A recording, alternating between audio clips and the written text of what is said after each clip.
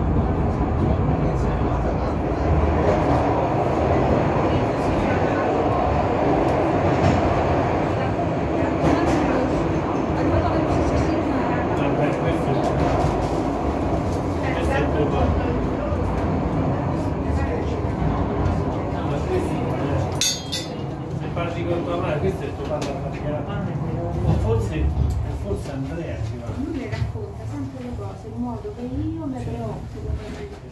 Guarda, veramente, mi fa venire un amore.